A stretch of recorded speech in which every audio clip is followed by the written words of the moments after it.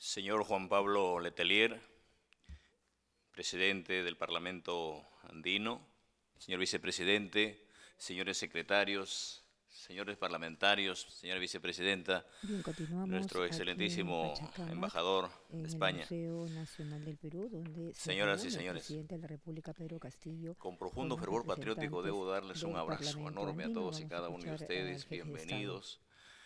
Nosotros eh, en un, eh, quién sabe, eh, en una agenda tan ajustada que tenemos, el Perú es inmenso, es emergente, habíamos acordado con nuestro hermano eh, Arce para abrir estos espacios. Primero, bienvenidos. Y quisiera extender mi abrazo a través de ustedes a los hermanos, a nuestros compañeros, hermanos latinoamericanos, ¿no?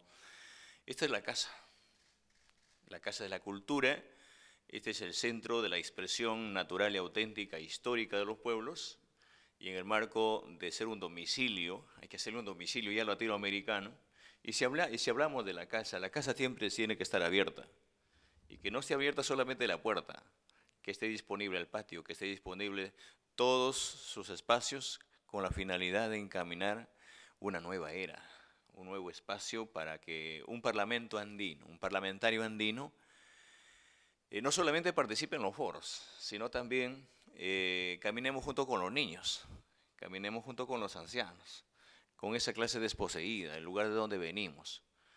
Me gustaría trabajar una currícula latinoamericana y desde acá a través de ustedes invocar a los maestros y a ese acervo cultural para que se, se geste una currícula eh, en el Parlamento andino, ¿no?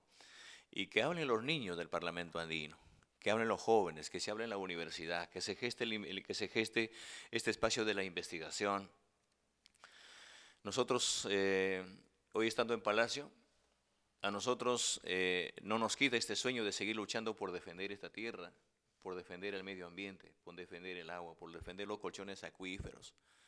Eh, para terminar con estas indiferencias de estos niños que tienen plomo en la sangre, de estos niños que en América Latina y en el Perú y en el mundo son víctimas, por ejemplo, de muchas discriminaciones. Es más, hay niños que son discriminados no solamente eh, económicamente, no solamente socialmente, también, no sé si la tierra misma, hoy tenemos que darnos el espacio para rendir, eh, rendir ese homenaje que lo hicieron nuestros ancestros y respetar esa cultura. Y por eso, en esta primera parte quisiera expresarles a ustedes mi saludo en nombre de los hermanos Shipibos, los Conibos, los Quechua, los Aymaras, los Aguajún, ¿no?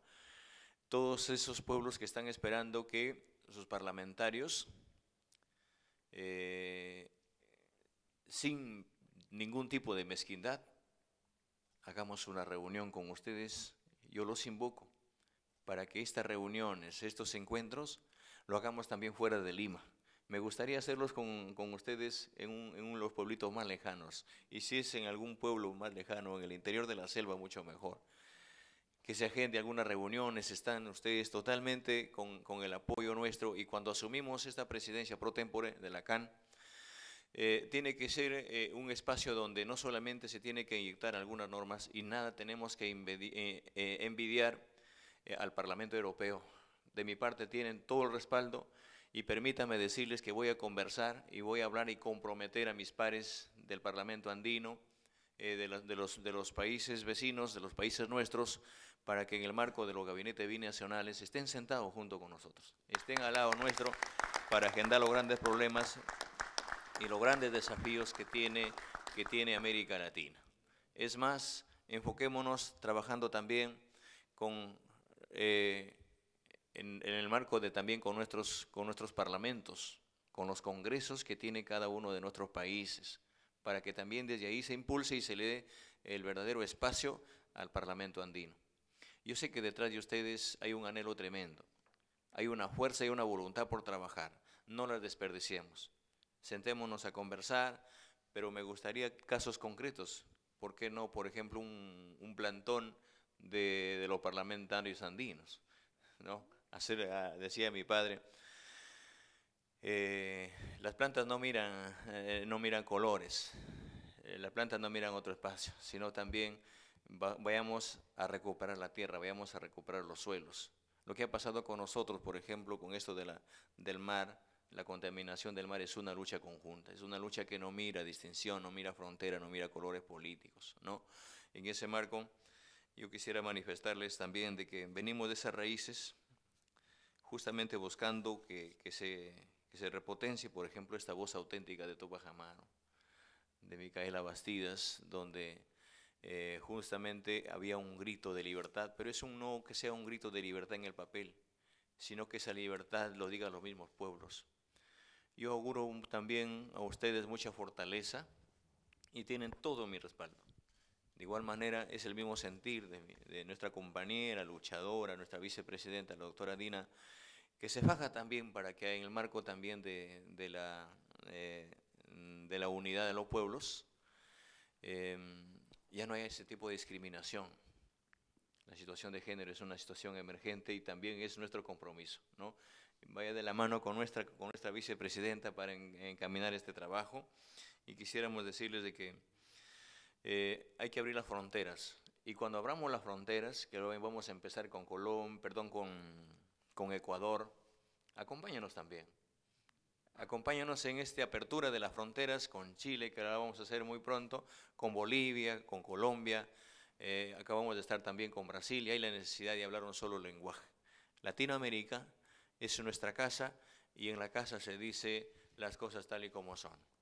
Hay desafíos, hay problemas comunes como la delincuencia, el narcotráfico, como los, problemas, los grandes problemas de corrupción a la cual también hay que ponerle en la mesa y desde ahí, desde esos espacios, revertir estos, estos desafíos, estos problemas que tenemos. ¿no?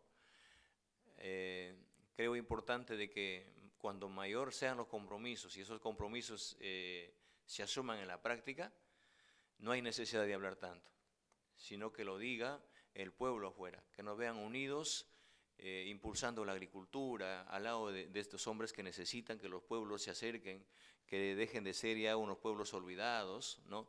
de estos pueblos que no tienen internet, de estas comunidades que necesitan que llegue eh, los servicios básicos, ¿no? Eh, a 200 años, por ejemplo, en nuestro país hay pueblos que son muy, muy emergentes, como pidiendo agua, desagüe, como que llegue un maestro. Eh, nosotros, lamentablemente, a estas alturas del desarrollo de este país, tenemos un aproximado de 3 millones de peruanos en el marco del analfabetismo. Tenemos un alto índice, por ejemplo, de niños que son víctimas y están bajo el umbral de la, anemia, bajo la, de la pobreza. Y eso lo ha demostrado esta pandemia.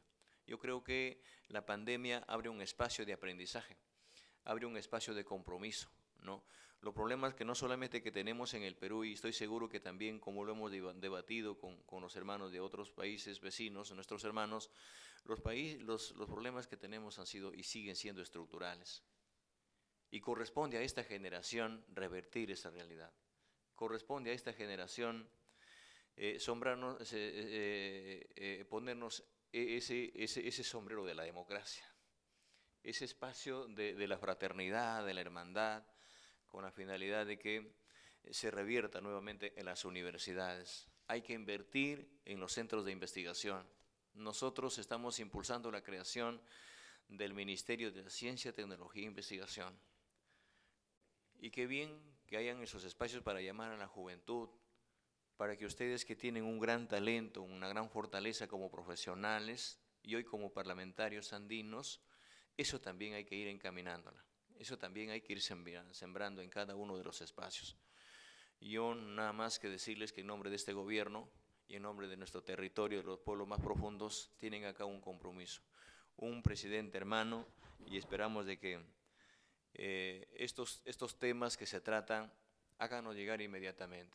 Yo sé que ustedes tienen una agenda más específica, permítanos hacerlo más cercanos, más nuestro, con el resto de los países que integran eh, este, este, parlamento, este parlamento andino y esta comunidad andina.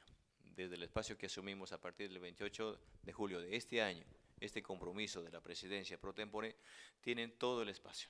No se preocupen que caminaremos juntos. Muchas gracias.